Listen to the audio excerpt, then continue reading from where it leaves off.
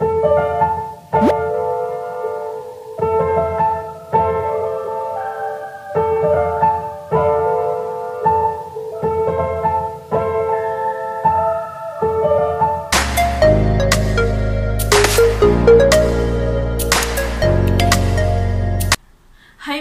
mga ka-Blessed Vlogs! Welcome or welcome back again to my YouTube channel. So thank you po sa mga bago kong subscriber at thank you din po sa mga magsusubscribe pa lang po. So kung bago ka pa lang sa channel ko, please don't forget to subscribe to my YouTube channel and click the notification bell para lagi po kayong updated sa mga bago kong video niya upload.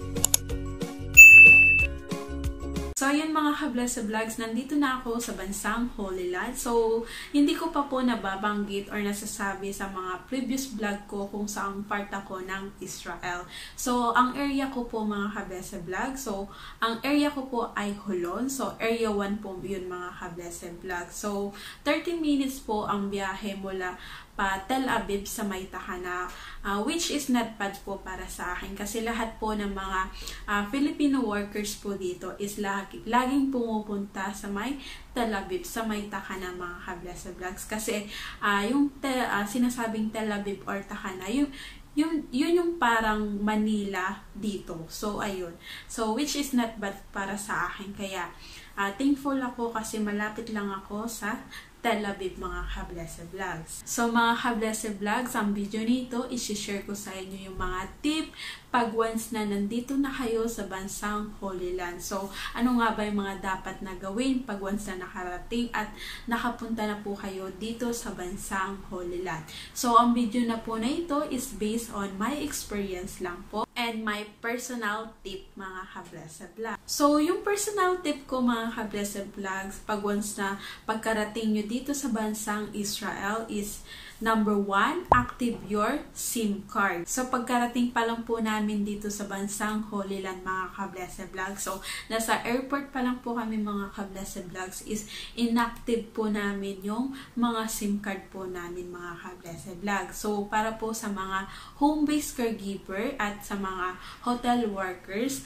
um, meron po tayong free SIM card na ibibigay po ni POAE. So, nandun po sa, sa uh, travel kit po natin yung mga kablese vlog. So, hindi nyo na po kailangan bumili pag once na uh, dumating kayo dito sa Holy Land kasi may free SIM card na po tayo mga kablese vlog. So, tip number 2 ko po is familiarize your area. So, pagkarating nyo po dito sa bansang Holy Land at pagkarating nyo po sa bahay ng employer nyo, i-familiarize nyo po kung saan malapit po yung bahay ng employer nyo. Kung anong malapit na grocery So, sa area ko po mga Kablesa Vlogs, ang malapit na store is yung uh, Super Farm mga Kablesa Vlogs, then yung Market City, then meron din pong bilihan ng mga tinapay, tsaka yung Pizza Hut mga Kablesa Vlogs. So, yun yung mga malapit na store sa area ko mga Kablesa Vlogs. Then, third tip ko mga Kablesa Vlogs is bumili po kayo ng Grab Cab. So, ito po yung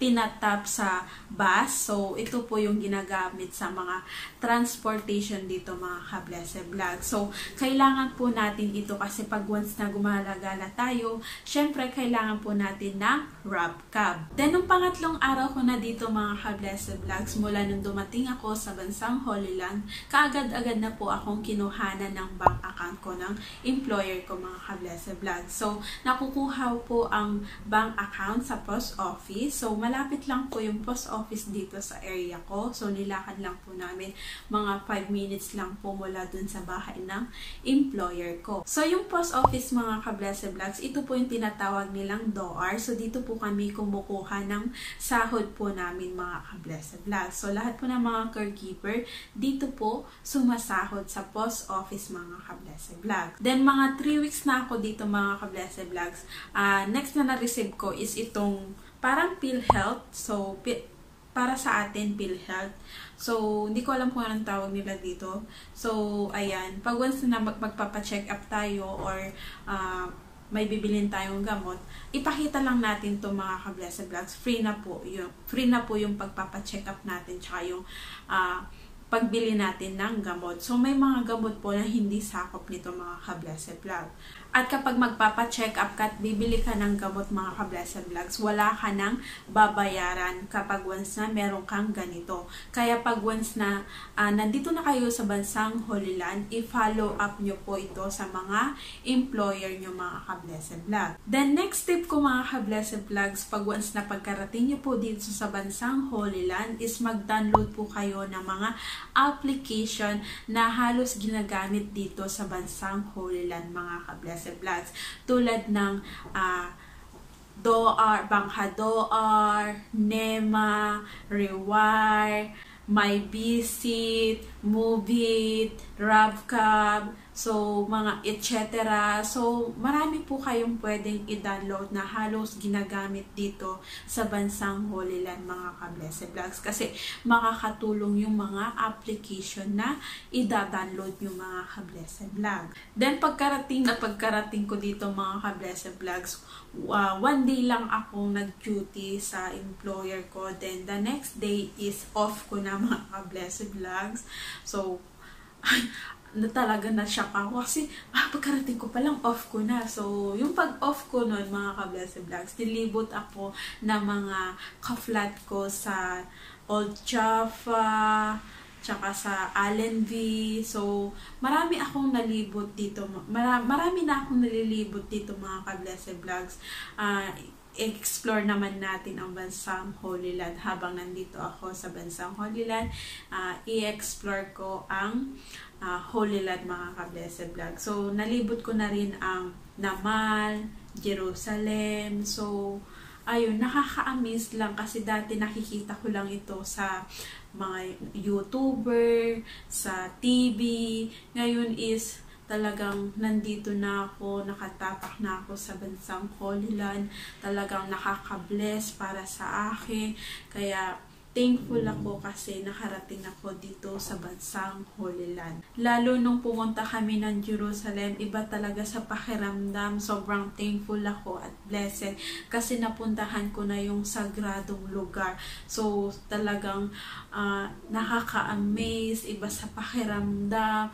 Kaya habang nandito ako sa bansang Holy Land, uh, i-explore ko ang bansang Holy Land kasi minsan lang akong makarating dito kaya susulitin ko habang nandito pa ako sa bansang Holy Land mga ka-blessed vlog. Then last tip ko mga ka-blessed vlog lalo na sa mga katulad kong baguhan at papunta pa lang po dito sa bansang Holy Land is tip ko po is magtipid po kayo at mag-ipon mga ka-blessed vlogs. So hanggat maaari mga ka-blessed vlogs magtipid tayo, mag-ipon tayo, uh, unahin muna natin yung needs bago yung wants. Kasi lagi yung tatandaan yung ano ba yung mga pinaka main purpose natin at pinaka main goal natin. Bakit tayo nagtrabaho sa abroad. So, ang purpose natin is makaipon.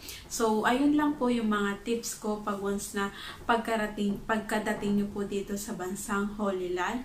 So, I hope na nakatulong ang video na ito. Kaya, if you like this video, please don't forget to subscribe to my YouTube channel and click the notification bell para lagi po kayong updated sa mga bago kong video ni upload So, thank you for watching mga Kablesa Vlogs and see you on my next vlogs. Always remember that you are already blessed. Bye!